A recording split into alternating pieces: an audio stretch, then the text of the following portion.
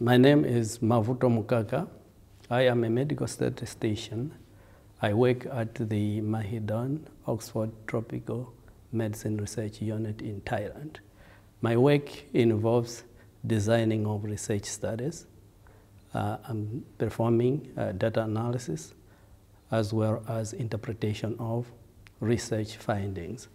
I work uh, in collaboration with medical researchers.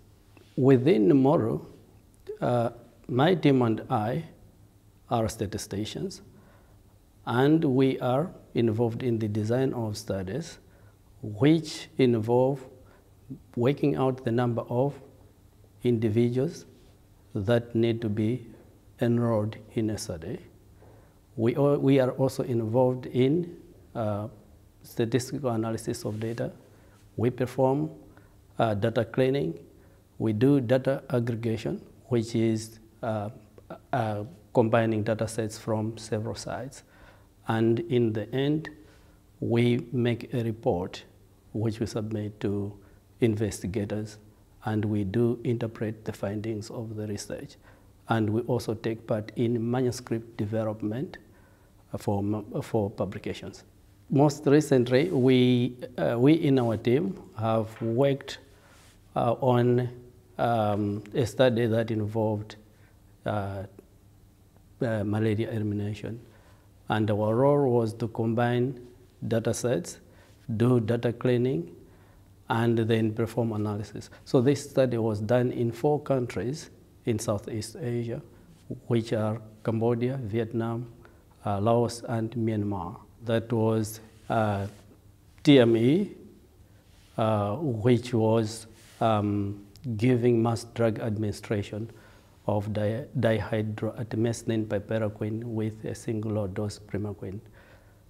Uh, in our field, there are so many uh, methods that have been developed in the area of medical research, and these include uh, time to event analysis methods, and it is the responsibility of us as statisticians in my team to identify these methods and recommend to medical researchers. In the area of medical research, there were traditional methods of analyzing data, which was using proportions to assess efficacy or effectiveness. But more recently, uh, researchers recommend that we use survival methods or time to event methods, which are able to capture uh, issues that relate to missing data. So these methods uh, are not uh, easily accessible to medical researchers, but it takes statisticians to go into literature, identify these methods, and make recommendations to the medical researchers. So that is where we come in as medical st statisticians. Yeah, so like in the past, if you use uh, proportions, uh, you would end up losing some data because if some people did not complete the follow-up period, they may not be part of the analysis. But these new methods allow those individuals that have partial information to be included in research or uh, analysis rather. Medical statistics is very, very important in research.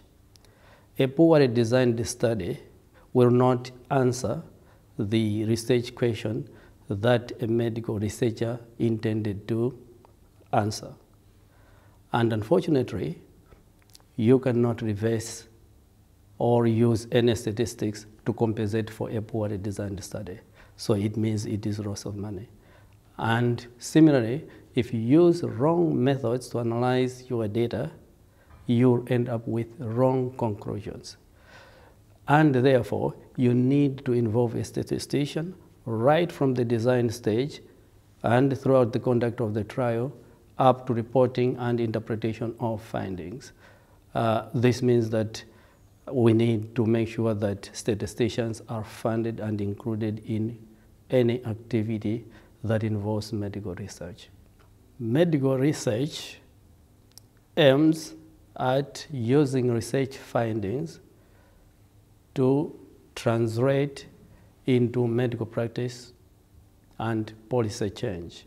And as statisticians, we are part and parcel of that research activity.